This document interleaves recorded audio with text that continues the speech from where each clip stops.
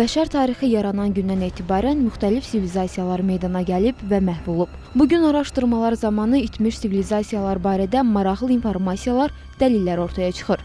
Bu faktlarsa dönüb keçmişə baxmağa və yenidən tədqiqatlar aparmağa bizi vadar edir. İtmiş, məhv olmuş sivilizasiyaların izi ilə.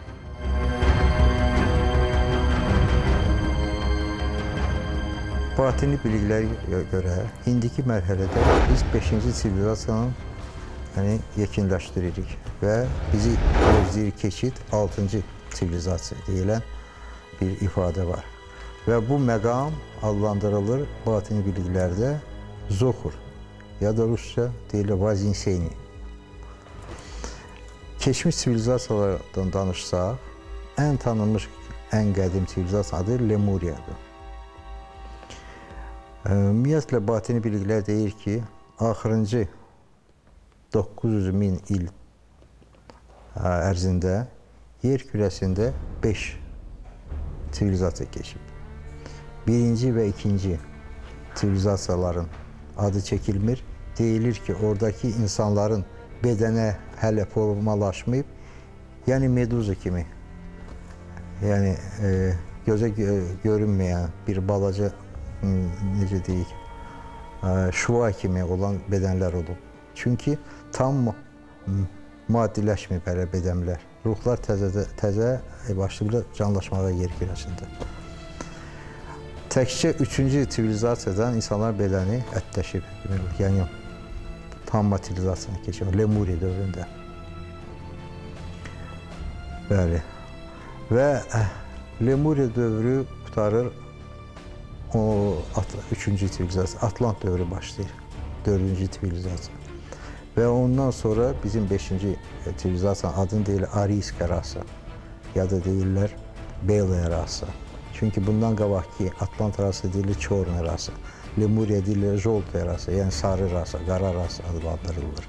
Yəni batini biliklərə görə Hinduslardan götürsək bu bilikləri ya da gnostiklardan fərqi yoxdur. Hamısı eyni bir sistem bir, universal bir biliklərdir. Eyni e, teorinin versiyona görə bu e, e, sivilizasiya var idi. Dünyanın tarixində maraqlı olan məsələ bundan ibarətdir ki, bizə məlum olan bütün sivilizasiyalar, Çin sivilizasiyası, Misir sivilizasiyası, Mesopotamiya və digərləri təxminən başlayır bizim eradan əvvəl ən uzağı 8 min il əvvələ qədər. Yəni ondan əvvəl heç bir insanlıq barədə, sivilizasiya barədə məlumat yoxdur. Eyni zamanda elə təsəvvür edin ki, biri-birindən əlaqəsiz formada, biri-birindən bir neçə min kilometr uzaq məsafədə Çində bir sivilizasiya yarandı, Hindistan sivilizasiyası yarandı, Veda ədəbiyyatı yarandı, Misir sivilizasiyası, Mesopotamiya. Eyni zamanda bütün insanlar elə bir sanki ayıldılar. Amma ki, bəs indiyə qədər insanlıq yox idi, həmin insan idi. Qəfildən bu qədər sıçrayış hardan mənə gəldi.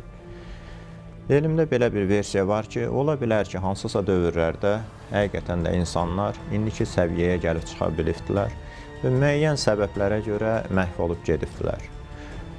Hətta o ehtimal olunur ki, ola bilər ki, atom bombası səviyyəsində bunların silahları olubdur və o silahı işlətməklə yer kürəsində köhnə sivilizasiyanı tam şəkildə məhv edibdilər.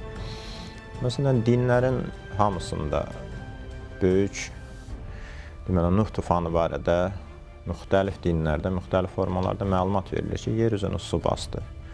Yəni bunu da ehtimal edirlər ki, məhz bir neçə atom bombası eyni zamanda yer üzündə partlasa həqiqətən də iqlim dəyişə bilər və Antarktidanın, Arktikanın buzdaqları əriyə bilər və yerdə 100 metrə qədər suların qalxması mümkündür. Hər bir sivilizasiyanın həyatı 25920 illə bağlıdır və bu bağlıdır əslində Günəşin Pliyada bürcünün oxunun ətrafında proqramlanır. Yəni e, Alison adında Günəş var. Bizim Günəşimiz 25920 ilə bir dövr eləyir və dövr qutaranda bir sivilizasiyanın həyatı qutarılır. Ancaq bu dövrdə insanlar yəni bizim axırıncı 33-cü sivilizasiyanın qabaq 32 var idi. Onların biraz effektivliyi az idi. Nə üçün? Çünki onlar çox yaşayırlar, min illərdən yaşayırlar. Ya olan çox böyük hündür. E, deməli, böyük, rostları çox böyük idi. Məsələn, Einstein də bunu daxil edirdi ki, bir çox keçmişdə olan biliklər sivilizasiyaların yaranmağında gələcək insanların təsiri olubdur. Onlar zaman maşını düzəldibdilər. Öz biliklərini keçmişə daşıyıb aparıbdılar. Artıq bəşəriyyət Troya mədəniyyətindən, e, qədim Mayalıların mədəniyyətindən, Misir mədəniyyətindən xəbərdardır. Hindistanda itmiş və əski bir sivilizasiyanın daşıyıcısı olan Mohenjo-daro və Harappadan xəbərdardır. Amma insanlar Balakən Zaktala bölgəsində ə, Qafqaz Albaniyasının belə desək, antik dövrdə itmiş şəhəri olan bir şəhərdən məlumatsızdır. 2010-cu ildə Azərbaycan Milli Elmlər Akademiyasının Arxeologiya Etnografiya İnstitutunun əməkdaşları ilə birlikdə Balakən rayonunda Xəncərütən Qobu adlanan ərazidə arxeoloji qazıntılar aparıldı. Və bu qazıntılar antik məlumatları təsdiq elədi. Antik dövr müəlliflərinin verdiyi bəzi bu gün ayırd eləməyə çətinlik çəkdiyimiz məlumatları bir də dürüstləşdirdi. Belə ki, mərhum etnoqraf Qiyasəddin Qeybullayev dəfələrlə qeyd eləmişdi ki, Albaniyanın İberiyaya yaxın ərazilərində çox yüksək bir mədəniyyətə, şəhər mədəniyyətinə məxsus olan insanlar yaşamışlar. Burada yüksək şəhər mədəniyyəti mövcud idi, lakin hardaydı? O tapılmırdı. Nəhayət eramızdan əvvəl 7-ci, 4-cü əsrləri əhatə edən çox yüksək bir mədəni e, dövrü özündə ehtiva eləyə bilən e, arxeoloji materiallar əldə elədik. Burada açılan bir neçə e, nekropol son dərəcə zəngin material verdi. Təkcə bir nekropoldakı materiallar bizə insanların dünya görüşünü, mədəniyyətini, mətbəx mədəniyyətini, hər meyvə üçün ayrıca bir meyvə qabının olduğunu göstərdi. Amma çox təəssüf ki, bu dövr eramızın başlanğıcında birdən-birə itirdi və 7-800 il heç bir mədəni təbəqədən söhbət gedə bilməzdi. Bunu da arxeoloqlar qazıntı zamanı müəyyən elədilər. Belə ki, təxminən 1 metrdən daha çox bir lil qatı toplanmışdı qazıntı mədəni təbəqənin üzərində. Bu eramızın başlanğıcında Balakən Zakatala bölgəsində, xüsusən biz qazıntı apardığımız o ərazidə çox böyük bir daşqınların, selin olduğunu və bu yüksək mədəniyyətin, bu şəhər həyatının da sellər altında qaldığını göstərdi. Və nəhayət ki, e, qazıntılar 2010-cu ildə və 11-ci ildə aparılan qazıntılar bu mədəniyyətin əlamətlərini üzə çıxardı. Beləliklə Qiyasəddin Qeybullayevin dediyi, və bəzi antik dövr müəlliflərin verdiyi məlumatlar öz təsdiqini tapdı. İki çay arasındakı ə, ərazidə yüksək bir al, yüksək inkişaf etmiş bir Alban şəhəri mövcud idi. Oradakı maddi mədəniyyət nümunələri və o nekropollar həmin mədəniyyətin ə, əlamətlərini bir daha bizə göstərmiş oldu. Axır vaxtlar bu söhbətlər çox ə, gedir ki, tapılır böyük gigantların qalıqları.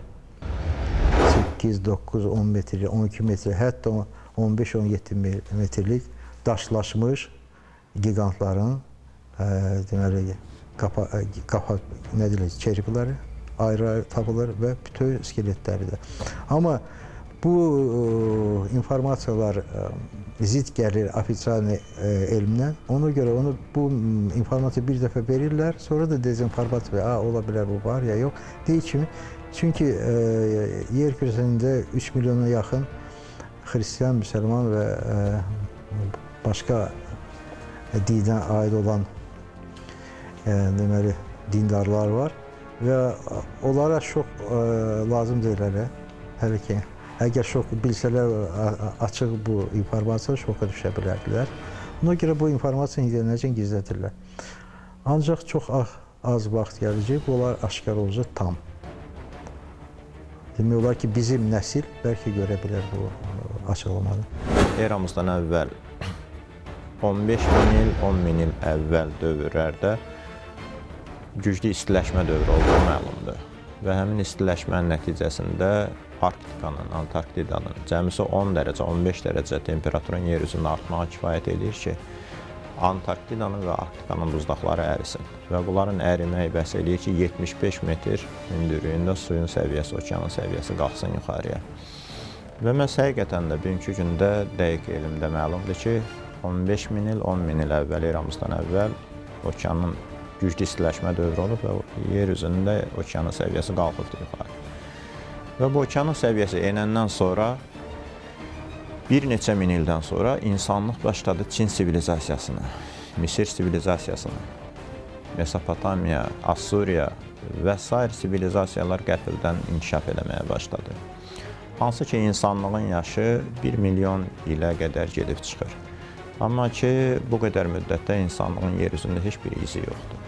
Ancaq son 10 min il, 15 min il, 12 min il uzağı dövrlərdə insanlığın izi hiss olunmağa başlayır. Yəni ehtimal eləyə bilirlər ki, ola bilsin ki, həmin dövrdən əvvəl hansısa sivilizasiya olub.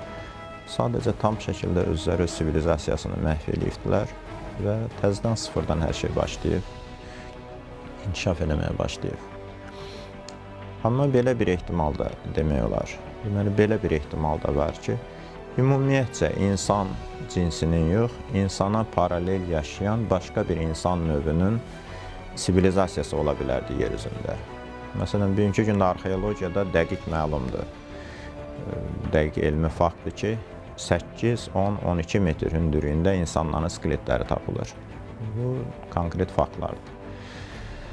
Və elmdə bunu qəbul eləyirlər. Neandertal insanlar deyirlər. İnsan cinsi vaxtı ilə yarananda bir neçə növdə yaranıbdır. Və bu insanlar əslində insan növü, insan irqi təxminən 2 milyon il əvvəl hesab edirlər yaranıbdır. Amma ilk insanlar başqa növdə insanlar olubdur və Neandertal insanlar bizdən əvvəlki dövrün insanlarıdır. Bizim növ insanlar təxminən ehtimal olunur, yəni Homo sapiens təxminən 500 min il əvvəl, yarım milyon il, 400 min daha doğrusu il əvvəl Homo sapiens insanlar yaranıbdır. Amma paralel olaraq həmin o nəhəng insanlar, giqant insanlar, 10-12 metr hündürlüyündə olan insanlar da mövcud olub yaşayıb.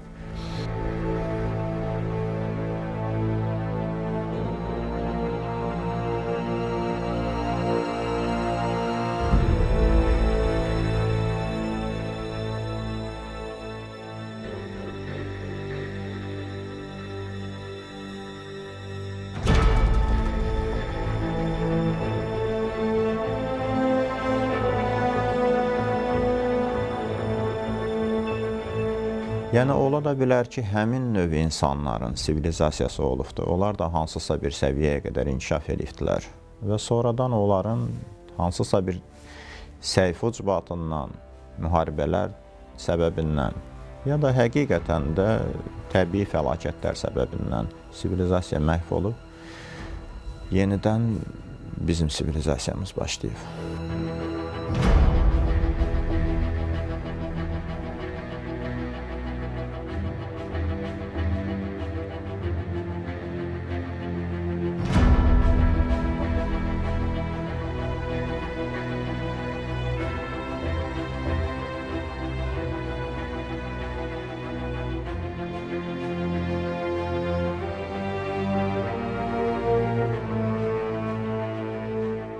Mən başqa bir məsələyə də toxunmaq istəyərdim. İtmiş mədəniyyətlər, itmiş sivilizasiyalar dedikdə mən Azərbaycanda itmiş Şumer mədəniyyətinin izlərinin olduğu fikrindəyəm. Belə ki, Şumerlər artıq bunu bütün dünya tədqiqatçıları qəbul eləyiblər ki, eramızdan əvvəl 7-ci, 6-cı minilliklərdə Altaylarda Mesopotamiyaya doğru hərəkət edən böyük bir kök oldu, türklərin kökü oldu. Və təbii ki, Qafqazlardan yan keçmədi. İlk öncə Qafqazlarda oturuşan Şumerlər özlərinin ilk mədəni dövrünü bəlkə də burada yaratdılar. Və bunun sübutu olaraq bir neçə faktı e, söyləmək istəyirəm. Mesopotamiyada tapılan Şumer gil kitabələrində su, hava, məhlə, əbbey, nənə, mintənə sözləri açıq aydınca bilinirdi. Hansı ki bu sözləri bu gün Şəki və Balakən yörəsinin insanların ağzında, yaşlıların dilində bu gün də eşitmək olar. Başqa bir tərəfdən Şəkidəki Kiş düşündüyümə görə Şumerlərin ilk qurduğu şəhər mədəniyyəti, şəhər ərazisi olduğu ehtimalı eləyirəm. Çünki daha sonra Mesopotamiyada Dəclə Fərat çayları arasındakı ərazidə Şumerlər özlərinin növbəti Kiş şəhərində orada qurdular. Ki əslində hansı ki yerin altına gedən ə, sivilizasiya nümayəndələri, yəni Lemuriyanın ə, əsasən ə, qədim Lemuriya nümayəndələri, onlar çox inkişaf eləmiş bir cisimdir əslində. Adi insan demək olmaz. Onlar ilahi bir qüvvələri var. Ona görə onlar yer altında 120-yə yaxın şəhəri yaradıblar. Aqartka deyilən sistem var. Hər bir şəhərin öz işığı, öz günəşi və s.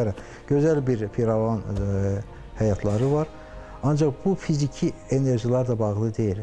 Bu fiziki ilə astral arasında efir deyilən enerji var, enerjilər. Onun əsasında qorulub. Və ona görə ə, bizim alimlər onu da tapa bilmir. Ondan başqa buna deyirlər ə, poverxna, podpoverxnasyon. Bir də var yeni bir e, e, məlumat olar bəlkə çox adamlar üçün. E, tam yer kürəsinin e, mərkəzində günəş var. Bax bu e, yeni bir informasiya, batin bilirəm. Və orada da bir sivilizasiya var. Onun e, nə gecəsi var, nə gündüzü. Yəni 24 saat işıqlı bir aləmdir. Demək olar ki, Şambalanın mərkəzi oradır. Və ə, o yerə çıxış iki qütbən idi. Bir qütb indi bağlıdır. Yəni şimal qütbü. Almanlar 40-cı ildə ona görə Rusiyanın torpaqları o vaxt gezirdilər ki, o yolu tapsınlar. Tapa bilməyiblər. Ancaq onlar Antarktidada xəbəriniz var bəlkə. Çox böyük işlər görüblər və oradan keçiblər həmin o ə, sentrdən keçiblər efir aləminə və orada toqquşublar bu sivilizasiyada. Və onlar öz biliklərini almanlara çatdırıblar və demək olar ki, o ki 2 milyona yaxın almanlar hansı ki 127 podvodna lodka ilə bir 10 ilin ərzində köçürdülər Antarktidaya, Yeni Şvabiya torpaqlarına. Adı New Berlin şəhəri yaradırlar. Ən gözəl insanları, yəni qadınları və kişiləri, injenerləri, yəni yazıçıları və yəni elita adamları hamısını köçürdüblər ora. 8 dənə zavod, NLO yaradan zavod ora köçürdüblər və onları orada qəbul ediblər yəqin ki. Çünki Amerikanlar 46-cı ildə bu ə, informasiyanı yoxlamaq üçün ora admiral göndərəndə 20 dənə gəmi ilə o gəmilər oradan məcbur olduq qaçsınlar çünki iki gəmini momentalno NLO-lar, yəni onlar batırdı. 20 dənə samolyot vardı, onları vurdular və s. Və bu ilə onlar məcbur olaraq qayıtsın. Ruslar da çalışdı oraya getsə, onlar, onlar ə, yəni yer, su, sualtı gəmilərini orada çalışdı getsə və ə, Genştabın o vaxtın müdiri İvaşov, general polkovnik 98-ci iləcən ki, Genştabın quru, yəni razvedka upravleniyanın böyüyü deyir ki, bizim sualtı gəmilərin ətrafında elə bir cihazlar, yəni bizdən 5-6 dəfə tez sürətlə gedirdilər. Və biz öz, özümüzü qorumaq üçün daha dərinə getmədik. Və o deyir, 1978-ci ildə axırıncı dəfə Hitleri görüblər Tibetdə. Ya deyir, oradan keçib paralel aləmə, ya da orada öldü. Amma belə bir informasiyalar fiksasiya olub bu dokument kimi. Bu tipli versiyalar hardan əmələ gəlir? Ki, ola bilər ki, nə vaxtsa yer üzündə böyük sivilizasiyalar olubdur. Bu cür ehtimallar hardan əmələ gəlir? Deməli, məsələn, bugünkü elmdə açılmayan çoxlu bəzi müəmmalı məsələlər var ki, bunları bugünkü elmdə mübahisə yaradır. Məsələn, bir sıra xəritələr gəlib çıxıbdır. 15-ci əsrə aid olan, 15-ci əsrdə tərtib olunmuş hansı ki Kolumb həmin dövrdə məhz təzə-təzə Amerikanı kəşf eləmişdi. Həmin xəritələrdə yer kürəsinin bugünkünə oxşayan xəritəsi, o cümlədən Amerikanın da dəqiq xəritəsi əks olunur orada, Antarktidanın da. Hansı ki Antarktida ondan bir neçə yüz il sonra 1820-ci ildə yəni Lazarı Berinskausen tərəfindən getdilər, kəşf elədilər, müəyyən elədilər və xəritəsini ondan sonra çəkdilər. Hansı ki, bugünkü gündə elmdə xəritələr var, 1500-cü illərdə çəkilmiş. Piri Reis xəritəsidir, Hacı Əhməd xəritəsi deyilən bir xəritə var. Orientus Fini xəritəsi var və bu xəritələrdə yer kürəsinin bugünkünə oxşayan dəqiq xəritəsi var. Amerika qitəsinin, Antarktidanın və s. Və hətta bir məsələni deyim, həmin xəritələri gətirib bugünkü günkü xəritələrlə 30-cu illərdə, 40-cı illərdə müqayisə elədilər, ekspedisiyalar düzəldib getdilər. Antarktidanın xəritəsini yoxlamağa, indiki tutuşdurmağa. Məlum oldu ki, hətta həmin xəritələrdə bir çox şeylər daha dəqiq çəkilibdir, nəinki müasir xəritələrdə. Və bir maraqlı xüsusiyyət o xəritələrdə ondan ibarətdir ki, həmin xəritələrdə Antarktida buzdaqlardan azad formada çəkilibdir. Burada axı, axan çaylar var, heyvanlar var, canlılar var, yaşayırlar. Həmin xəritələr belə bir variant yer kürəsinin qlobal istiləşmə dövrlərində olubdur ki, yəni Antarktida buzdaqlardan azad olsun. Bir neçə 10 min illiklər əvvəl, eramızdan əvvəl. Və bu özü, məsələn, bir məqamı deyim, orada bir neçə adalar var köhnə xəritələrdə, qədim xəritələrdə çəkilən. Bugünkü gündə həmin adalar yoxdur. Materikin bir tərkib hissəsi kimi göstərilir həmin yerlər. Dediyim kimi 30-cu illərdə ekspedisiyalar gedib seismik yoxlama ilə müəyyən elədilər ki, həqiqətən də orada buzun altında adalar var. Sadəcə indi buzdaqlar həmin yerləri tutubdur. Demək olar ki, yerin altında iki sivilizasiya var. Suyun içində sivilizasiya var. Havada da sivilizasiya, amma gözə görünməyən, yəni astral ya efir ə, enerjilərin əsasında. Yəni bizim gözlərimiz onu görmür.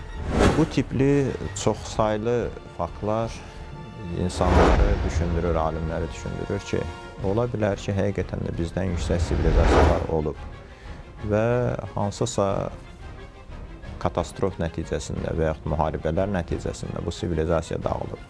Məsələn, belə sivilizasiyalar barədə ədəbiyyatda da çoxlu məlumatlar, tarix ədəbiyyatlarda da olmuşdu qədim dövrdə.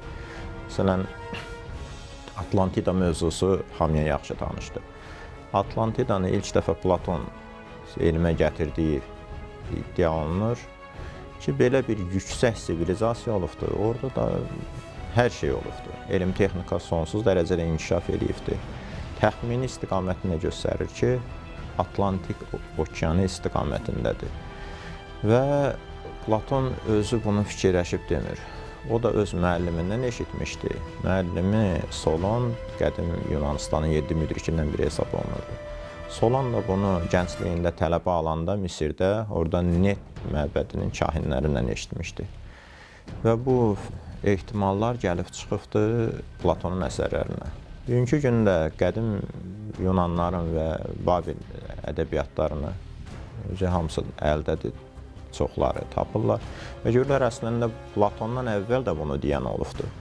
Bir çox Yunan filosofları, tarixçiləri məhz Atlantida adında və başqa adlarla da olsa təxminən o istiqamətdə böyük bir sivilizasiyası olan böyük bir ölkə olduğunu, mədəniyyət olduğunu deyir.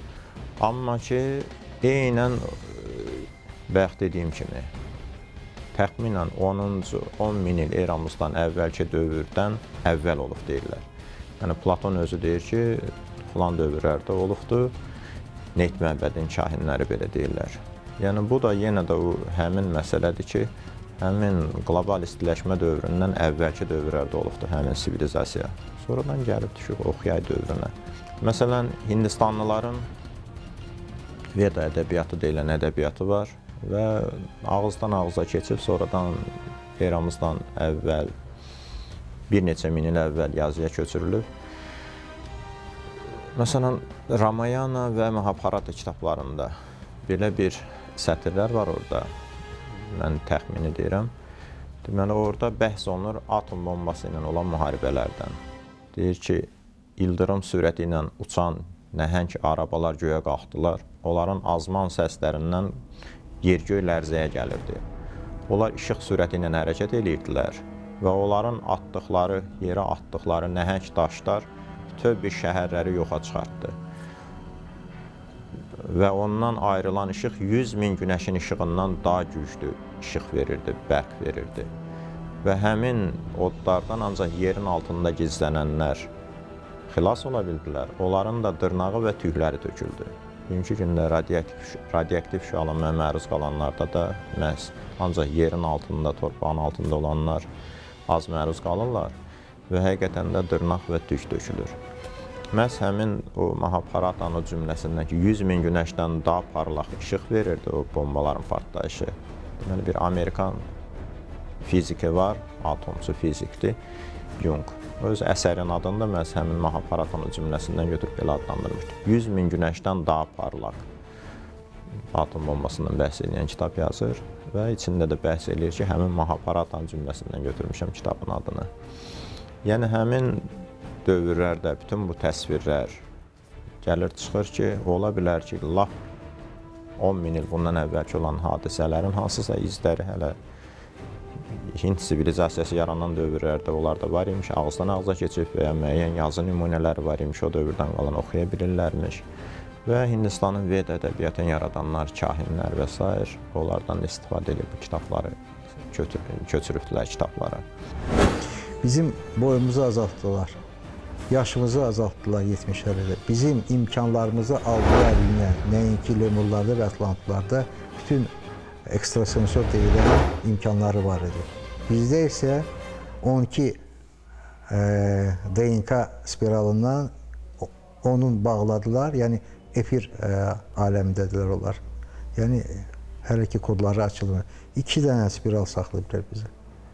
Ona görə bizim imkanımız yoxdur onlar, onlar kimi həyat ə, tərzini keçirək.